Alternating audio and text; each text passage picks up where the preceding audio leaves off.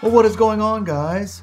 Luke here today, and we need to talk about SoFi, PayPal, and some shape stock that's called Block now. All three stocks have reported earnings, and SoFi and Block crushed it, but that hasn't mattered one bit. They are now in the toilet, and PayPal didn't crush earnings at all, and it got a beat down and a half. But I'm not sure it would have mattered either for them. They were headed to the toilet regardless, too. So let's discuss what is happening is there more pain to come, and what you should do with these stocks, and I promise no more toilet talk. I just ask for you to gently tap that like button and consider subscribing too. It's super easy to do if you like the truth without the hype. And are you against having a team of investors, including me, working directly with you as we navigate these ridiculously crazy times? If not, then you need to know the flash sale ends tomorrow to join the Market Insiders private group, and the prices will never be lower than this again. You get full and direct access to me and a group of six and seven figure investors, and you get access to four courses for free that teach you how to plan, do evaluation, build up your cash, and you get to see my watch list with price targets, my buy and sell alerts. We got live weekly Q&As and sometimes more than that, exclusive videos and a ton more, so check out the pinned comment. And before blasting me for promoting it, I have no ads, no sponsors. This is what YouTube pays me in a month,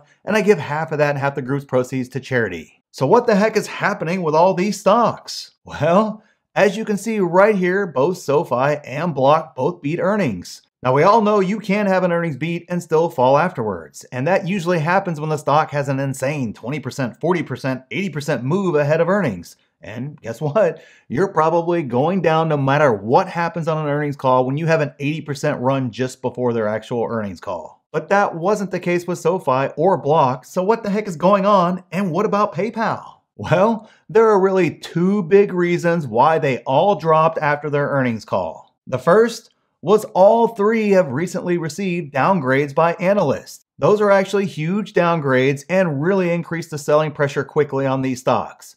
Now, personally, I could care less about this. I look at the numbers and do my own analysis. Analysts always push targets up during bull markets and down during down cycles like we have right here. They basically essentially follow the narrative at the time unless there's something there that it kind of universally means the stock is going down, like a change in management or a large contract falling through or a supplier leaving or something like that. Otherwise, they just downgrade and upgrade based on short term trends and models that are intended for short term trading. But just for reference, the average price target for Block is $188, for SoFi it's $18, and for PayPal it is $184. So even with the downgrades, these stocks are currently trading at almost half the average price target, about, you know, 20% or so below the lowest price target on the street. And if these stocks hit the high price target, you would end up 120 to 150% from today's prices. And again, these are one year targets that analysts put out. So although I don't put a lot of stock in them at all, even the most bearish price target still makes these stocks return quite nicely in a year or so. Bottom line, Analyst downgrade still means the stock is going to sell off regardless of the price in the short term. But that's actually where the second reason comes into play with these stocks dropping after the earnings call, and that would simply be the market is just in a risk off mood overall. A much needed correction has happened, and even a crash, depending upon the metric you look at, has actually happened. Regardless of which one you want to look at, it was much needed, but that means pain for stocks. And in typical Wall Street fashion, they overcorrected to the downside, just like they ran up prices well beyond reasonable on the upside about a year ago or so in a lot of these stocks. This is common. Wall Street always exaggerates the move up or down,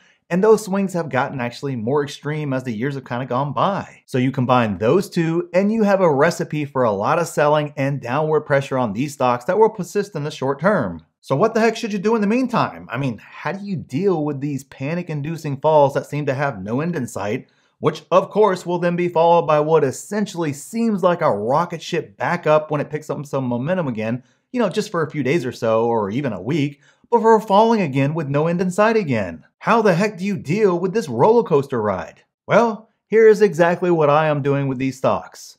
First, I will not panic sell during these downward moves that will come. I will just continue to hold my position and will look to add shares based on my price target set before emotions ever get involved. I understand the long term opportunity in front of me and how absolutely stupid the pricing has gotten, especially for a stock like PayPal, in my opinion, given that they are just profitable and really a cash flow beast. Either way, keep the three to five year horizon in mind. That is where the long term investor is looking. And second, I will not FOMO buy during the inevitable run up or squeeze situation or whatever the heck happens when it goes on a quick run. I will simply buy based on my price targets. And when the stock is running up and I feel like I'm missing out, trust me, guys, we all feel FOMO, I will just step away and not buy based on emotions, but based on decisions made when I created my plan. I know those decisions were made with analysis, not emotions, and one creates wealth over the long term.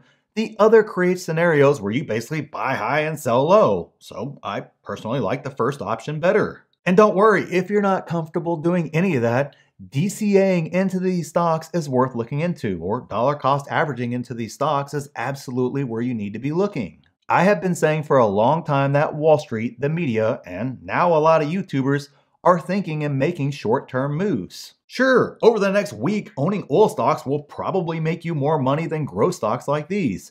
But I'm not a trader, I'm a long term investor looking to build real wealth. I have no interest in getting in and out and market timing and all that other garbage like that.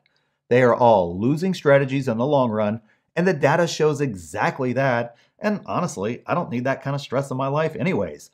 I'm already losing all my hair, guys. But I want to hear from you. Do you like any of these stocks? I mean, are you buying more or running for the hills? I'd love to hear what you are doing. So thanks for watching, and we'll see you in the next one.